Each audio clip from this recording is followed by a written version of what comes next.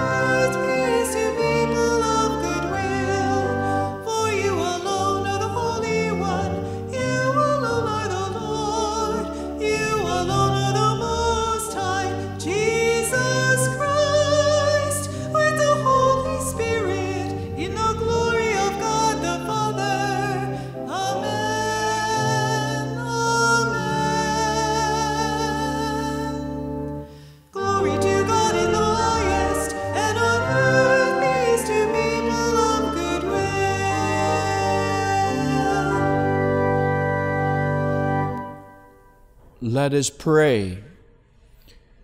Grant, Almighty God, that we may celebrate with heartfelt devotion these days of joy which we keep in honor of the risen Lord, and that what we relive in remembrance we may always hold to in what we do. Through our Lord Jesus Christ, your Son, who lives and reigns with you in the unity of the Holy Spirit, God forever and ever. Amen.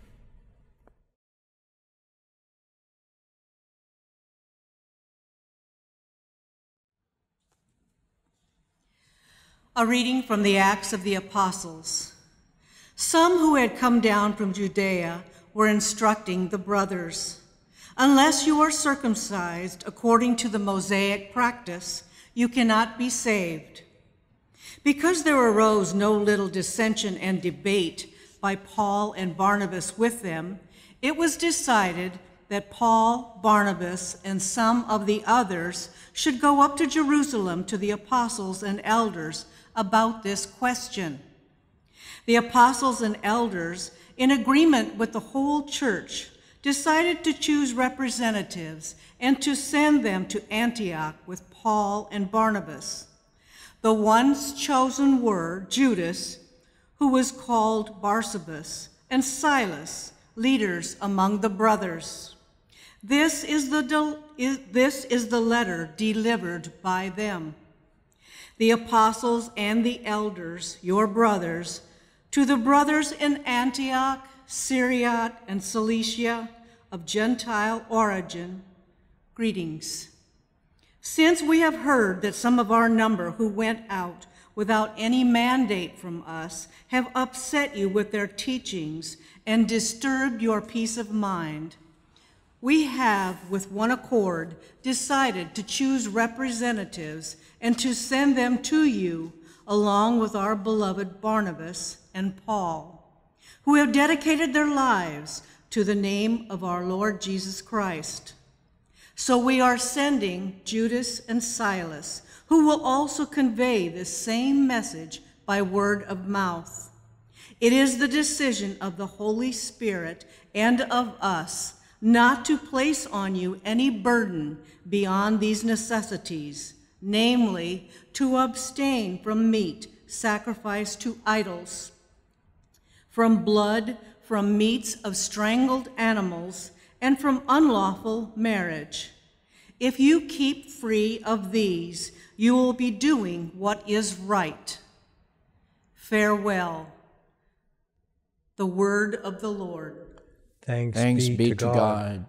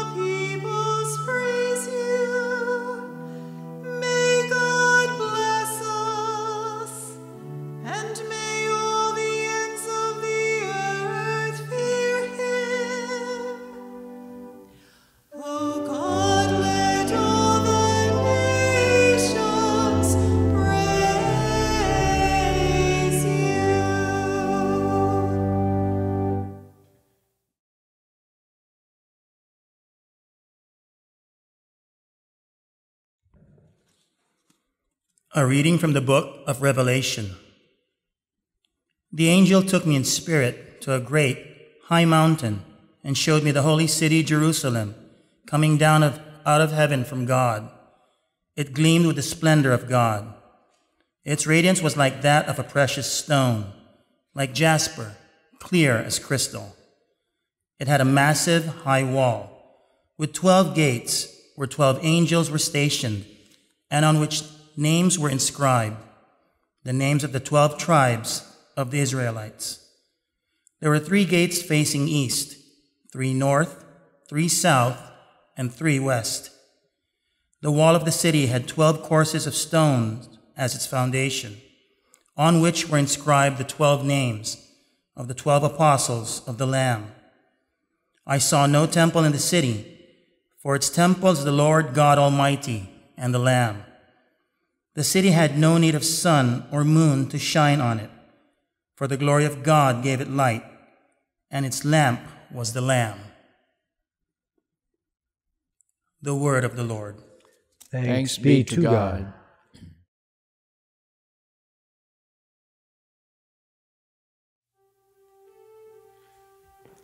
Alleluia,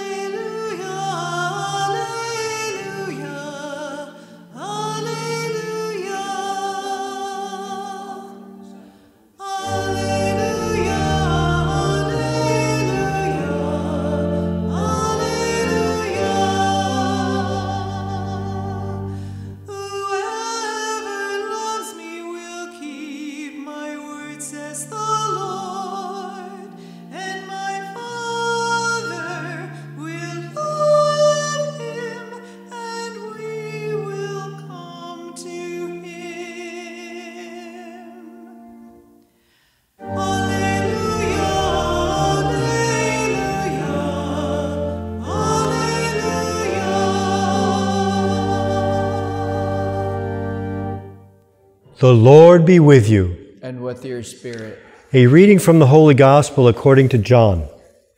word to you, Lord. Jesus said to his disciples, Whoever loves me will keep my word, and my Father will love him, and we will come to him and make our dwelling with him. Whoever does not love me does not keep my words. Yet the word you hear is not mine, but that of the Father who sent me. I have told you this while I am still with you. The Advocate, the Holy Spirit, whom the Father will send in my name, will teach you everything and remind you of all that I told you.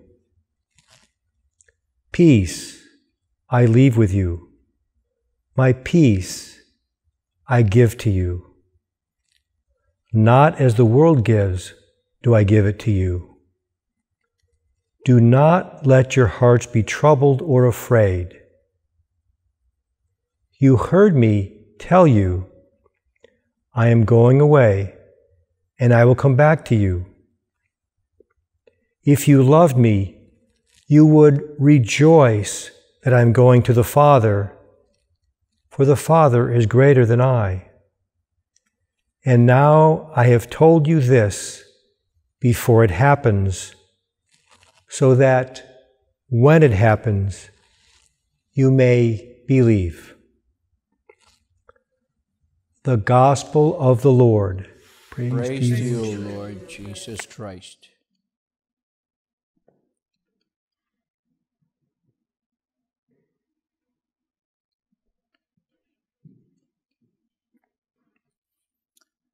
The sixth Sunday in the season of Easter is just a week before Pentecost. But our gospel reading today is bringing us back to this scene of the Last Supper.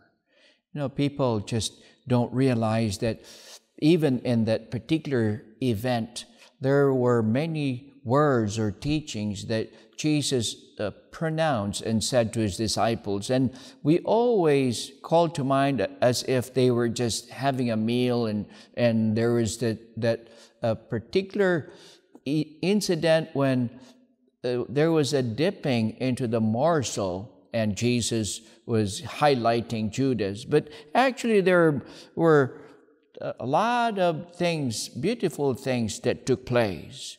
And now we're being asked to imagine as if we are gathered together with the 12 around the sacred table with Jesus Christ. And we, I'd like for you to also, at the same time as the gospel reading, was proclaimed as if you were also there listening to his words, which are both mysterious and glorious. It is Christ's last meal with his closest followers. He wants to leave them a parting gift. What is, what is that? And what does Christ want to bestow to his apostles at the Last Supper? It is peace. A peace, he said, I live with you, my peace I give you.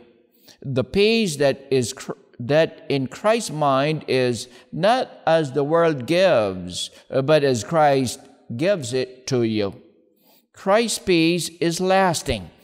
It is interior peace of the heart which overflows into the peace and in our homes and our families in our community and in the entire society and even to the entire world. You know this is the one that we should continue to cultivate and even continue to um, uh, grow in each one of us. It is the peace that comes from knowing without any doubt whatsoever that we are loved by God, that we're loved by Jesus, that whenever we we offend Him, He will always be ready to forgive us, uh, that we have a purpose in life, a mission, the very mission that Christ Himself has given us to spread His kingdom, the kingdom of peace that we anticipate that would be lasting, that could also be our mission that we have to spread here in the world.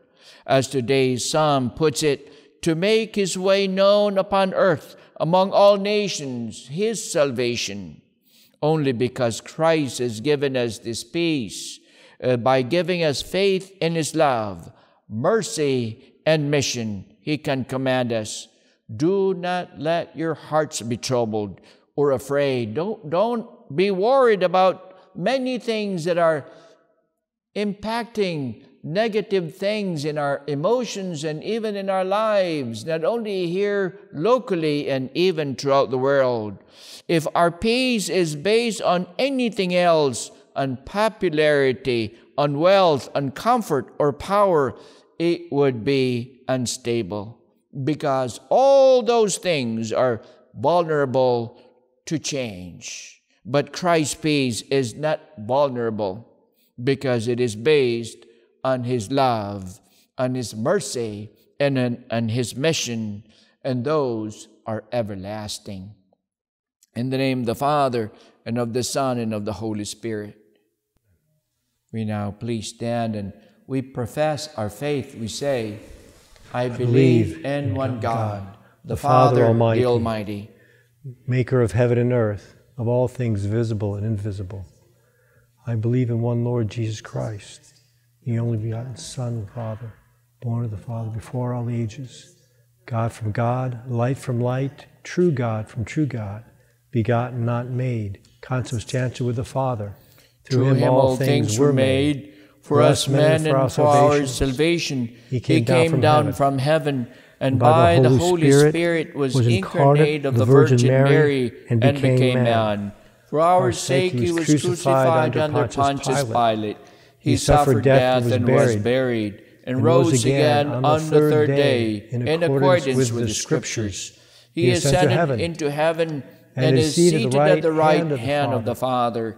He will come again in glory to judge the living and the dead, and his kingdom will have no end.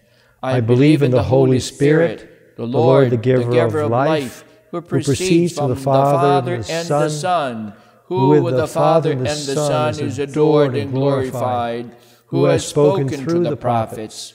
I believe in one holy, Catholic, and Apostolic Church. I confess one baptism for the forgiveness of sins, and I look forward to the resurrection of the dead and the life of the world to come. Amen. With hearts longing for the coming of the Holy Spirit, we turn now to God to pray for all in need.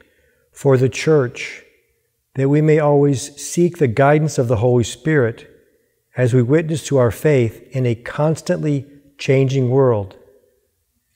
We pray to the Lord. Lord, Lord hear, hear, our prayer. prayer.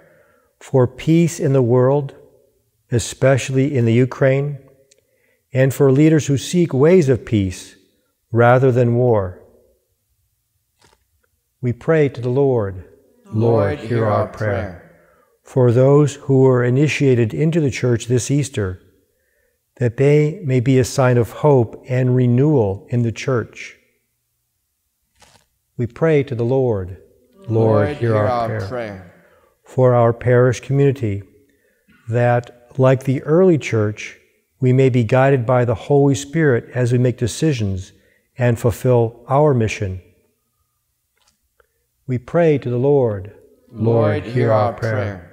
For all those on our website's Vigil Light list and written in our book of prayer intentions. We pray to the Lord. Lord, hear our prayer. For the sick, may their health be restored. We pray to the Lord. Lord, hear our prayer. For those who have died, may they be welcomed into God's heavenly city. We pray to the Lord. Lord, hear our prayer. Also, we include the intention of our parish in this month of May. We pray to, to the Lord. Lord, hear our prayer. O God, in this great season of rejoicing, fill us with the spirit of your love and peace. Hear our prayers for all people and bring us at last to your holy city, Jerusalem. We ask this through Christ our Lord. Amen. Breathe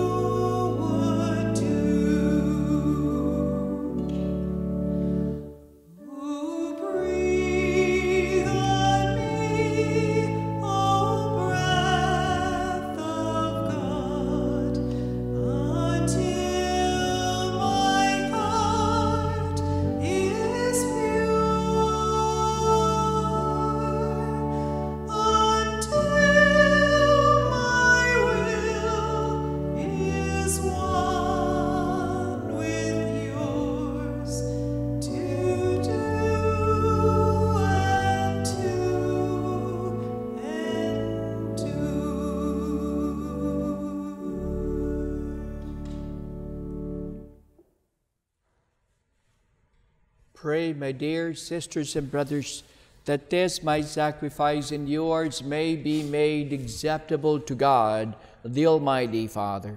May the Lord accept the sacrifice at your hands for the praise and glory of his name, for our good and the good of all his holy church. May our prayers rise up to you, O Lord, together with the sacrificial offerings, so that purified by your graciousness, we may be conformed to the mysteries of your mighty love, through Christ our Lord. Amen. The Lord be with you. And with your spirit, Lift up your hearts. we lift them up unto the Lord. Let us give thanks to the Lord our God. It is right and just. It is truly right and just, our duty and our salvation at all times to acclaim you, O Lord, but in this time above all to laud you yet more gloriously when Christ our Passover has been sacrificed.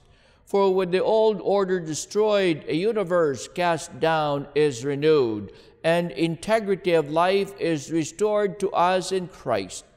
Therefore, overcome with paschal joy, every land, every people exults in your praise, and even the heavenly powers with angelic host sing together the unending hymn of your glory as they acclaim.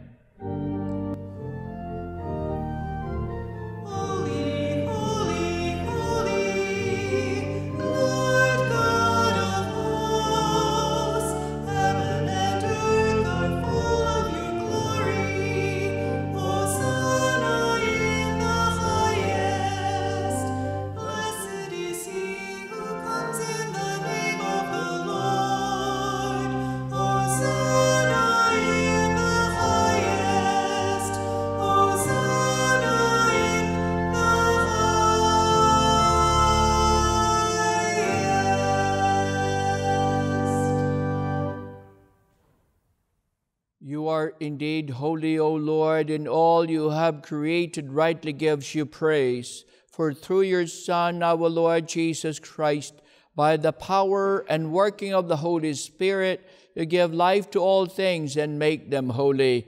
And you never cease to gather a people to yourself, so that from the rising of the sun to its setting, a pure sacrifice may be offered to your name. Therefore, O Lord, we humbly implore you, by the same Spirit, graciously make holy these gifts we have brought to you for consecration, that they may become for us the body and blood of your Son, our Lord Jesus Christ, at whose command we celebrate these mysteries. For on the night he was betrayed, he himself took bread, and giving you thanks, he said a blessing broke the bread, gave it to his disciples, saying, Take this, all of you, and eat of it, for this is my body, which will be given up for you.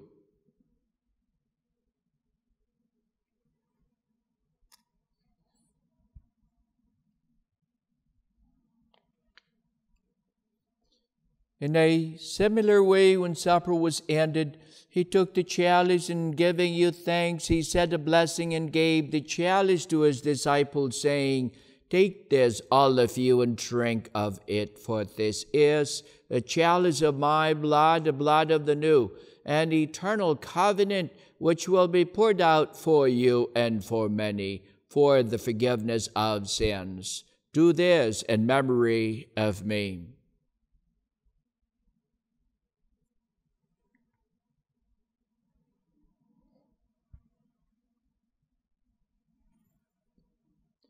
The mystery of faith.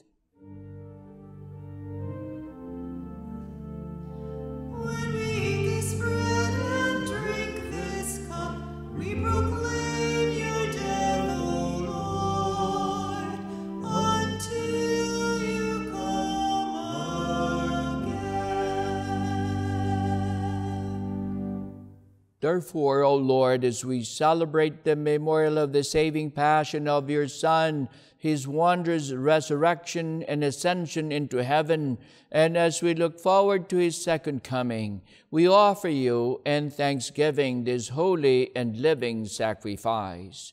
Look, we pray, upon the oblation of your church, and recognizing the sacrificial victim by whose death you willed to reconcile us to yourself.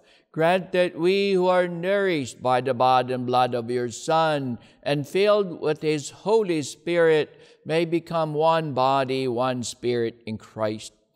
May he make of us an eternal offering to you, so that we may obtain an inheritance with your elect, especially with the most blessed Virgin Mary, Mother of God, her blessed spouse Joseph, with the blessed apostles and glorious martyrs, with all the saints, on whose constant intercession in your presence we rely for unfailing help. May this sacrifice of our reconciliation, we pray, O Lord, advance the peace and salvation of all the world. Be pleased to confirm in faith and charity your pilgrim church on earth with your servant Francis, our Pope, Robert McElroy, our bishop, his assistants John and Ramon, the whole order of bishops, the clergy, and the entire people you have gained as your own. Listen graciously to the prayers of this family, whom you have summoned before you. In your compassion, O merciful Father, gather to yourself all your children scattered throughout the world. To our departed brothers and sisters, and to all who were pleasing to you at their passing from this life, give kind admittance to your kingdom. There we hope to enjoy forever the fullness of your glory through Christ our Lord, through whom you bestow on the world all that is good. Through him, and with him, and in him, in the unity of the Holy Spirit, All glory and honor is yours, O God Almighty Father, forever and ever.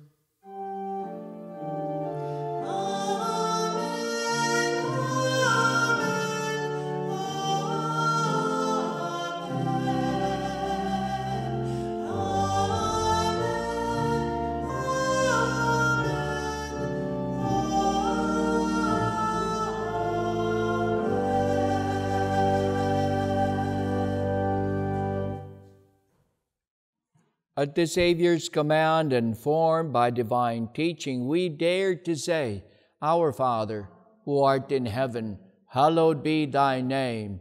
Thy kingdom come, thy will be done on earth as it is in heaven.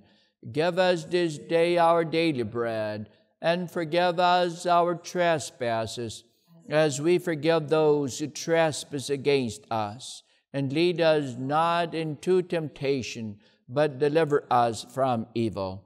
Deliver us, Lord, we pray, from every evil. Graciously grant peace in our days, that by the help of your mercy we may be always free from sin and safe from all distress, as we await the blessed hope and the coming of our Lord and Savior, Jesus Christ. For the kingdom, the power, and the glory are yours, now and forever. Lord Jesus Christ, who said to your apostles, Peace I leave you, my peace I give you.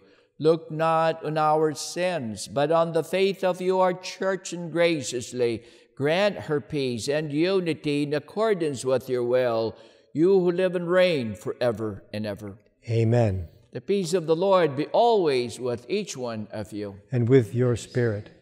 Let us offer each other the sign of peace.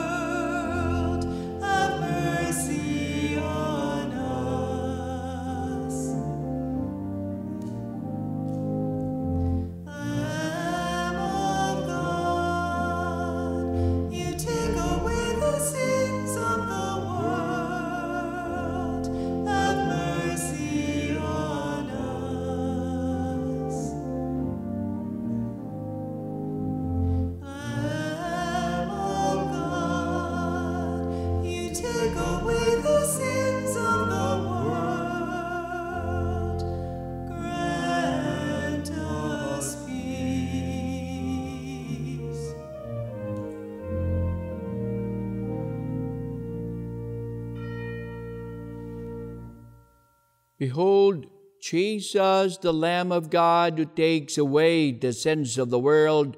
Blessed are you called to the supper of the Lamb. Lord, Lord, I'm, I'm not, not worthy worthy that that you should enter enter under my under my roof, But but, only say say, the word, and my soul shall be healed. healed.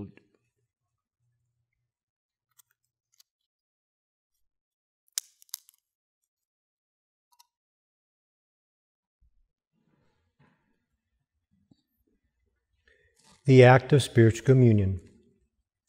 My Jesus, I believe that you are present in the most blessed sacrament. I love you above all things, and I desire to receive you into my soul. Since I cannot now receive you sacramentally, come at least spiritually into my heart. I embrace you as if you were already there and unite myself wholly to you. Never permit me to be separated from you. Amen. Amen.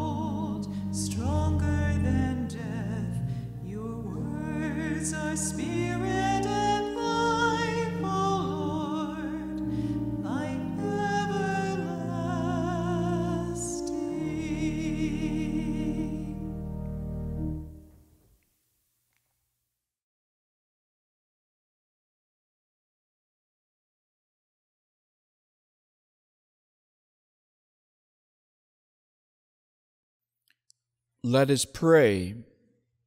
Almighty ever living God, who restore us to eternal life in the resurrection of Christ, increase in us, we pray, the fruits of this paschal sacrament and pour into our hearts the strength of this saving food through Christ our Lord. Amen. The Lord be with you. And with your spirit. Bow your heads and pray for God's blessing.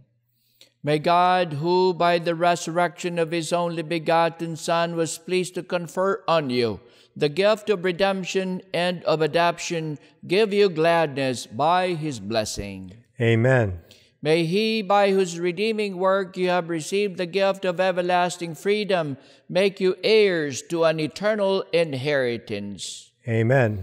And you who have already risen with Christ in baptism through faith, by living in the right manner on this earth, be united with him in the homeland of heaven. Amen. And may the blessing of the loving and merciful God descend upon you, remain with you always in the name of the Father, and of the Son, and of the Holy Spirit. Amen. Go in peace. Alleluia. Alleluia.